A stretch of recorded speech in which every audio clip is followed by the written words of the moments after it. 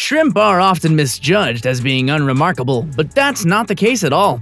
From being cleaners to scavengers, from being as small as a fingernail to as large as two bowling pins, shrimps have a big story to tell as the world's 2,000 plus species of shrimps play an important role in almost every aquatic ecosystem. They are a unique variety of marine crustaceans, typically found in rivers, seas, and even freshwater lakes that go through 16 different stages of life. One species of shrimp, the pistol shrimp, snaps its claws so hard that it briefly heats the water to 8,000 degrees Fahrenheit, hotter than the surface of the sun and louder than a gunshot.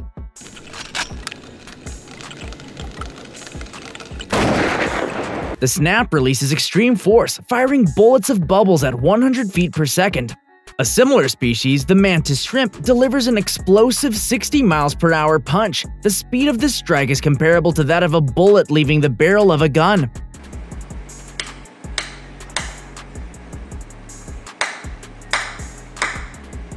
They have been known to break aquarium glass and camera lenses when provoked. These wild and colorful crustaceans are bottom dwellers, which means they usually live on murky or sandy river banks and ocean floors. Some smaller subspecies are often found to live within sponges. Others, like the mantis shrimp, burrow into the sand, muck, coral, fissures, and rocks along the coast. With so many species living in a variety of habitats, it should not be surprising that shrimps are a rather diverse group of animals.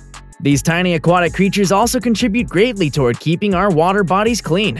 One of the most unique features of shrimp, however, is where their heart is located. But let's learn a bit more about shrimp before we get to this. The anatomy and life cycle of a shrimp. Shrimp are swimming crustaceans with five pairs of legs and are hence called decapods. Of the five pairs of legs, two pairs have claws that are used for feeding, whereas the other three pairs are used for walking. Although they may look similar to crabs, thanks to their shiny hard exoskeleton, shrimp belong to a completely different family, genus, and species. The bodies of shrimps can typically be broken up into eight parts, including the head, abdominal segments, and the tail. Shrimps possess a pointed snout called a rostrum that can be utilized for both assault and defense. It may also help to support the shrimps if it swims backwards. They also possess compound eyes with panoramic vision and excellent movement detection. The heads of the shrimp are equipped with two pairs of whiskers or antennae, one long and the other short, that protrude from the head to act as a sensory organ. These whiskers allow the shrimp to feel where they contact, as well as smell or taste objects by sampling the chemicals in the water. The large antenna also assists the shrimp in orienting itself in relation to its immediate environment, whilst the small antenna assist in assessing how viable a prey is for capture. One of the most surprising features of the shrimp is the fact that while the sexes are separate in some species, in others, the shrimp begins its life as a male. But after one mating period, however, the animal undergoes a transformation and becomes a female. The females can store sperm from many mates and in turn aid in reproduction by laying eggs that hatch into more shrimp. Another interesting finding regarding shrimp is that in some species, the female shrimp just scatters the fertilized eggs into the water, leaving the young to develop on their own. These eggs then hatch and change shape and form as they develop from larvae into fully sexually mature animals.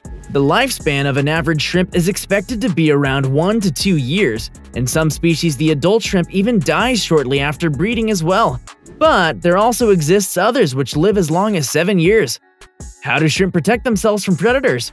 Shrimp are at the bottom of the aquatic food chain and hence they have to protect themselves from a plethora of natural predators. Predators include larger marine creatures like whales and sharks. Shrimp are also eaten by crabs, sea urchins, starfish, and marine birds. Shrimp rely heavily upon their well-developed senses of touch, taste, and sight to maneuver around the potential hazards they come across during their lives. Their elongated antennae are used to both feel and taste their surroundings. Most shrimp are extremely quick to dart away when they detect danger, and the length of their antenna provides the body and vital organs with a margin of safety when danger is detected. The eyes of a shrimp are on movable stalks with independent depth perception, yet another amazing feature that helps them remain aware of their surroundings. A shrimp's color is also affected by its natural environment. Some subspecies may alter their hue to blend in with their environment. Shrimp in tropical and subtropical environments are vibrantly colored, while others are translucent, making it harder for predators to detect them. Another way that shrimp avoid predators is by migrating daily between the surface, where they feed at night, and deeper water during the day. So, do shrimp have hearts in their heads? Shrimp have their hearts located in the thorax region, which is right after the head. And since the head and the thorax of a shrimp have a single exoskeleton, it appears as though the heart is actually in the shrimp's head. The head and thorax fuse to form a single exoskeleton, which is protected by a special shell layer called the carapace, which is tougher and thicker than the shell that protects the rest of the shrimp. The carapace is actually made of six different segments, which make them stronger and tougher than the muscular abdomen of the shrimp. Hence, they naturally prove to be the perfect place for internal organs such as the heart to be situated. The carapace usually covers the gills and also encloses the shrimp's brain within. What is the difference between shrimp and prawn? On top of the fact that both Brits and Aussies refer to both species as prawns, shrimp and prawn are still frequently confused to be the other. While they do appear to be quite similar on the outside, there are a few ways to differentiate between them both. A good rule of thumb to differentiate between the two is size. Shrimp are often relatively smaller than prawns, Another nuanced visual distinguisher setting shrimp apart is the distinct three segments of their bodies, with the middle segment overlapping the front and rear portion. Prawns, lacking such body segmentation, have straighter bodies than shrimp. If you really want to know which crustacean you have purchased or caught, just check the shell. If the second segment overlaps the first and third, you've got a shrimp. If the segments overlap down the abdomen, you've got a prawn. There are other genetic differences too, especially in the way each of them reproduce. Most varieties of shrimps carry their eggs on the undersides of their bodies, while female prawns do not brood eggs, but instead shed them into the currents, where they grow independently. The use of cleaner shrimp. Ever wonder why Jacques the shrimp from Finding Nemo was referred to as a decontaminator? Well, you'd be amazed to learn that there's in fact a real scientific explanation to it. The use of chemicals to treat parasite illnesses in farmed fish is common in aquaculture.